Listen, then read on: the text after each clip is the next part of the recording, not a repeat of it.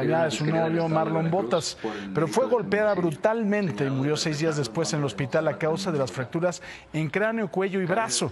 Actualmente Marlon está prófugo y sus padres están detenidos desde hace seis meses por su presunta complicidad para que su hijo escapara a pesar de estar acusado de feminicidio.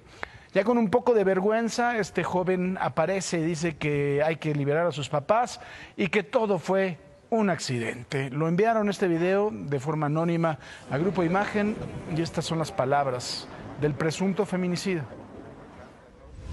Hola, mi nombre es Marlon Botas Fuentes. Soy requerido en la Fiscalía del Estado de Veracruz por el delito de feminicidio, señalado de perpetrarlo en contra de Montserrat Pendime Roldán. Cabe destacar que lo que la Fiscalía del Estado señala como un feminicidio fue un lamentable accidente y no es nada cercano a lo que se dice en redes o en el expediente. Que soy yo el que debe rendir cuentas ante la, la, autoridad que me solicita. La libertad de mis padres permitirá llevar un juicio justo en el cual se podrá explicar qué fue lo que pasó en realidad.